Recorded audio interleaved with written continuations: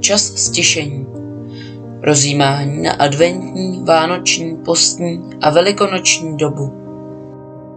Zamyšlení na pondělí po třetí neděli adventní.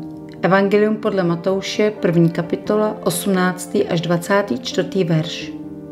Narození Ježíše Krista se událo takto. Jeho matka Maria byla zasnoubena Josefovi, ale dříve než se sešli, shledalo se, že počala z ducha svatého. Její muž Josef byl spravedlivý a nechtěl jí vystavit hanbě, proto se rozhodl propustit ji potají.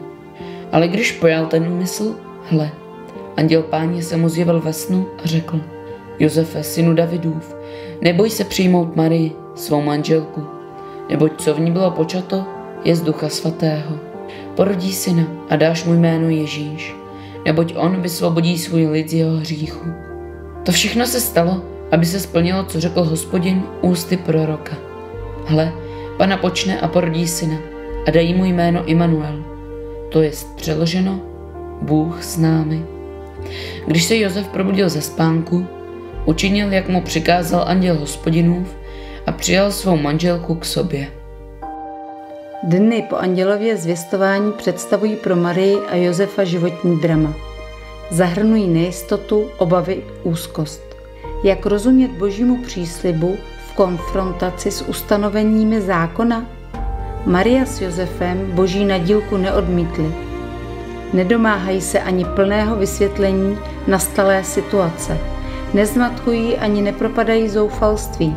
Jsou Bohu plně k dispozici. Naslouchají jeho hlasu, důvěřují jeho vedení. To jsou základní proporce evangelijního postoje, který se očekává i od nás v našich životních dramatech. Dnešním zamyšlením nás provázel docent Jindřich Schreier, Teologická fakulta Jihočeské univerzity v Českých Budějovicích. Tento pořad vytvořilo pastorační středisko Biskupství Českobudějovické za finanční podpory spolku Most.